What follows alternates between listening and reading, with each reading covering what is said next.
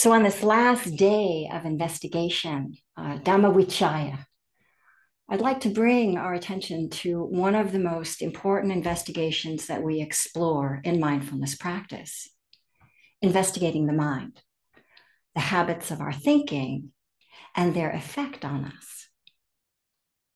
Every thought has a physical correlate, but because we tend to live in our heads and ignore what's below, we may not notice that the body reacts, it responds, it holds itself in certain ways based on the way we think. For example, notice what happens in the body when you receive a compliment. Right? We, know that, that swelling feeling inside, that openness, and we feel warm. And notice what happens when we receive criticism. Right? We tend to shrink a little. We feel crushed. There's something, something inside kind of sinks. And notice what happens when we look at the headline news, right? The way in which we tend to, it, it, it creates the arousal state of anxiety and fear for many of us. The body reacts in kind to whatever the mind is attending to. So it's kind of good to know what the mind is paying attention to. So today I'd like to look at one of the one of the more common uh, and insidious habits of mind that we have, which is self-critical thinking, thoughts of not being enough, of comparing, of being judgmental, unkind, negative, or harsh toward ourselves, and begin to notice and feel their effect on us. This is dukkha. This is stress. We want to release this. And most of us have some form of this dukkha going on to a greater or lesser degree. And their impact is potent, harmful to our health. Each time we let the tape run, it strengthens and reinforces that kind of thinking. And so we suffer. This is where we cause ourselves trouble, right here. No one else is in here but me. So now, consider the sheer frequency with which these kinds of thoughts arise in the course of a day, a week, a lifetime. They do a number on us, on our esteem, whereby we struggle with additional afflictions like doubt, insecurity, regret, anger, shame, all directed inwards. No, no, no. They are not innocent nor insignificant. They're poison arrows that we aim and throw at ourselves. Our reasons may differ, but they all serve to keep us in our place, reinforcing the idea that we're not enough. And we suffer, at the very least, privately for our perceived shortcomings. Now, the beauty of investigating mindfully is that we investigate process, not content. Nothing personal, but we're not following the trail of breadcrumbs that lead back to our childhood wounds, per se.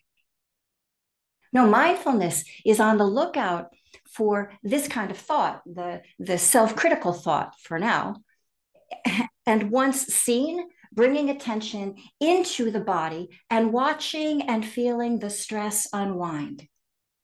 Seeing it change right before our eyes, breathing with it. It's safer to observe and feel in the body. The tension can soften and unwind without any back talk, any lip, as my dad would say.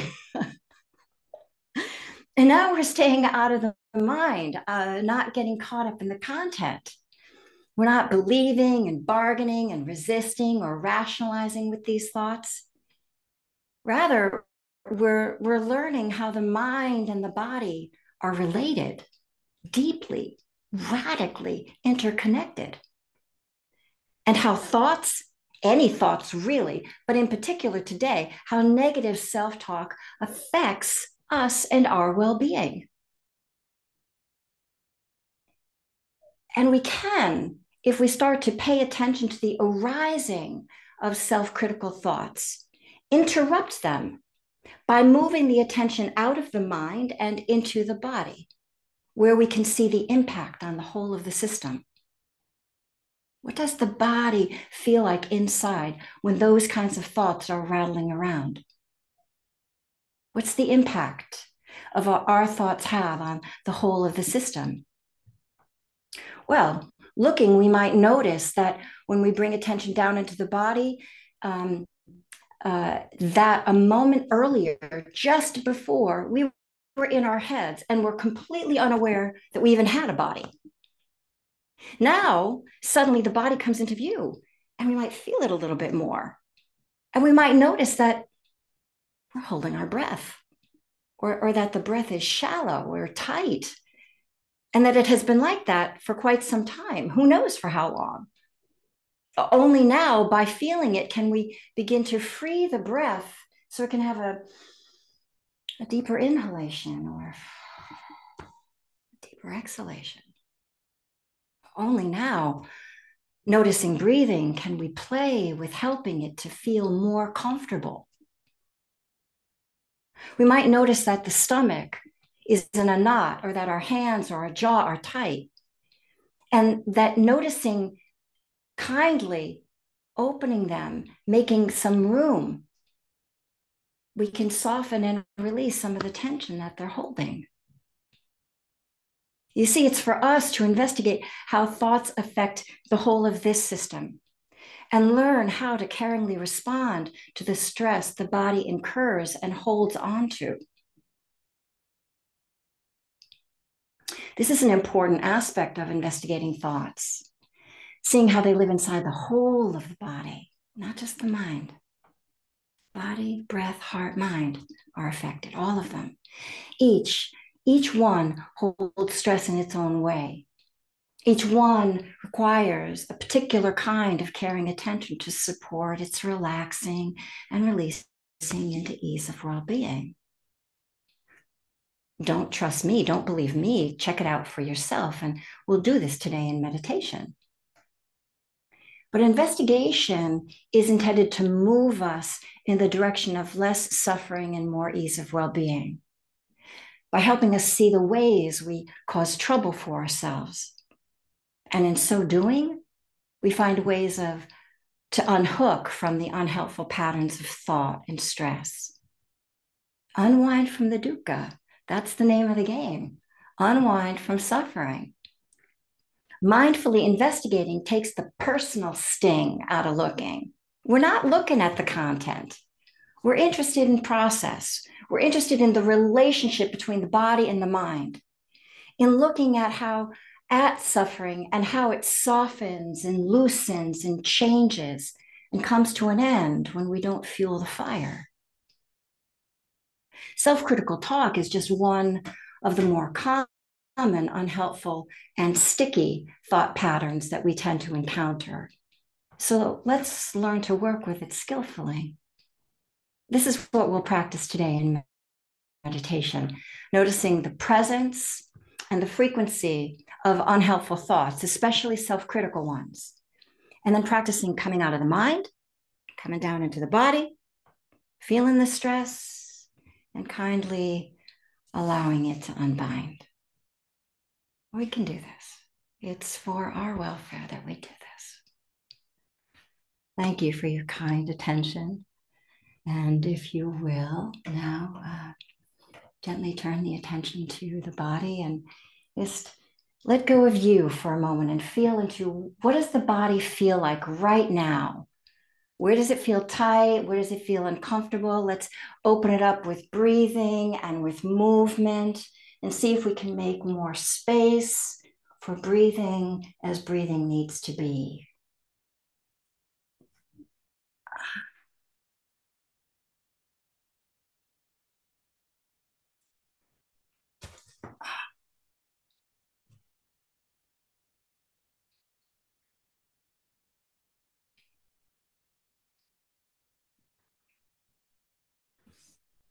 So we're picking up the instrument, as it were, and we're feeling into it and getting comfortable with it.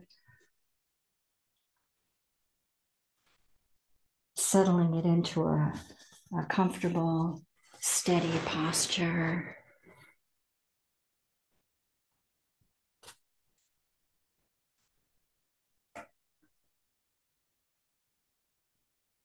If it's helpful, closing the eyes and turning the attention squarely inside and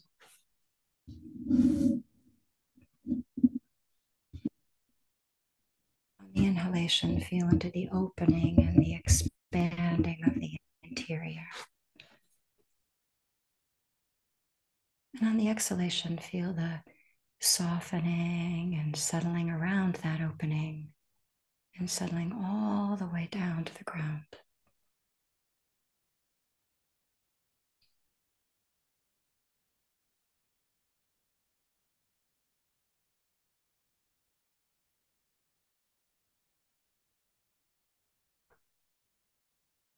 And see if you can soften the grip of attention on the breath and settle back a little bit.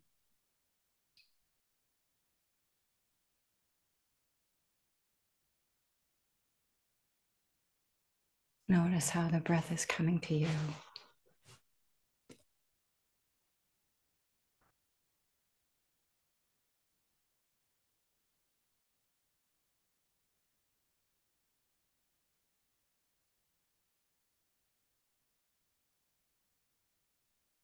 and bring forward that quality of caring attention.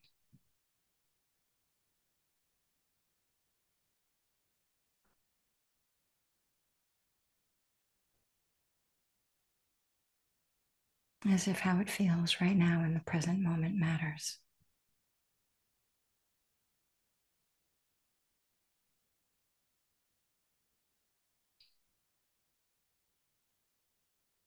Let go of the busyness of the mind. And keep attention into the experience of feeling comfortable in your skin right now.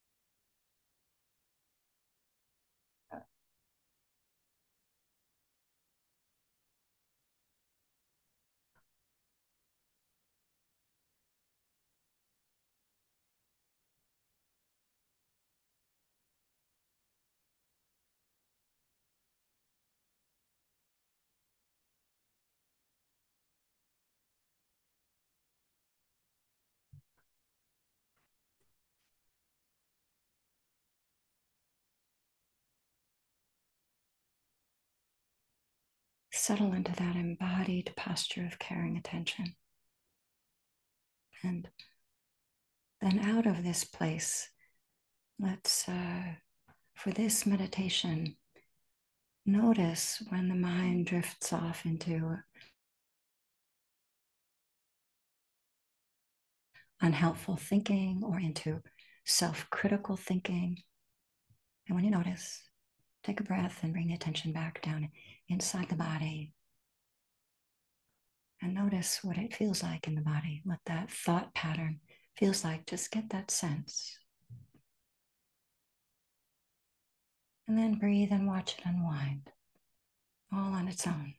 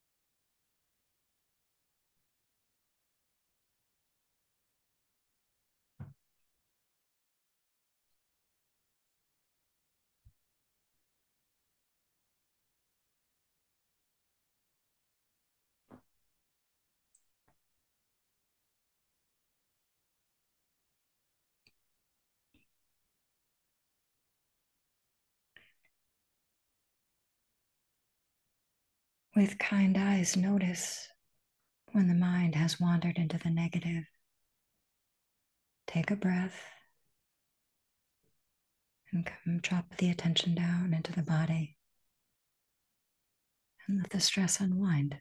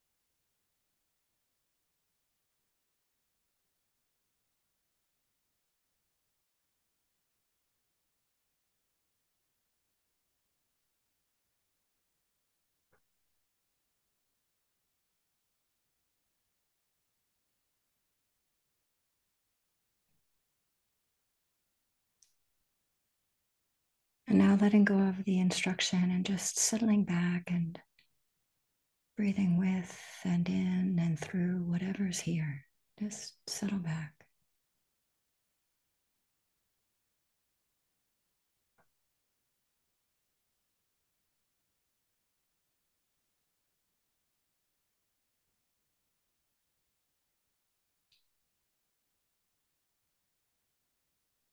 Resting.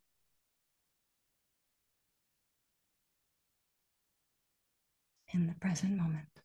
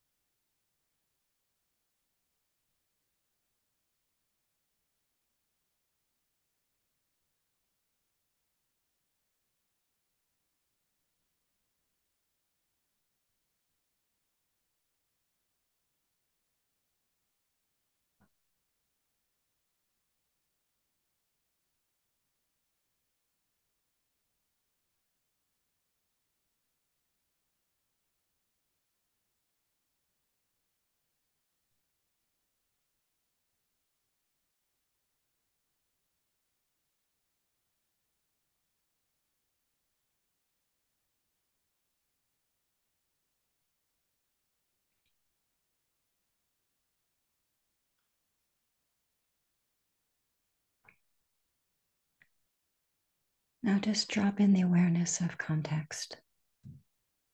All of us sitting here with you, you sitting here with us, each of us alone together, making room for what is here.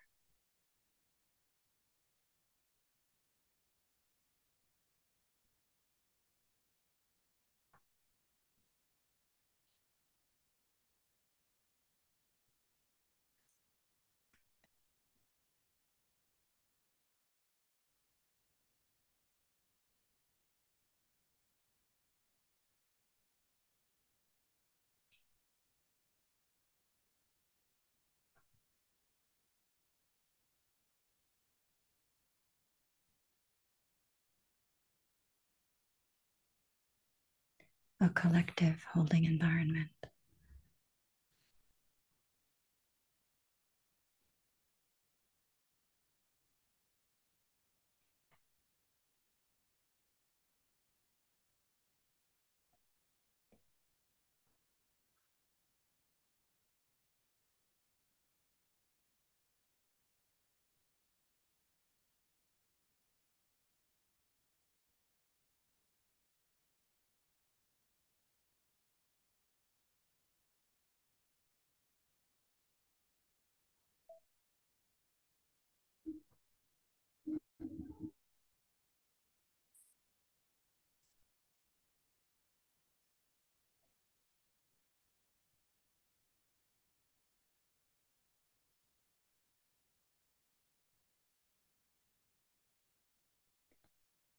Thank you for your practice.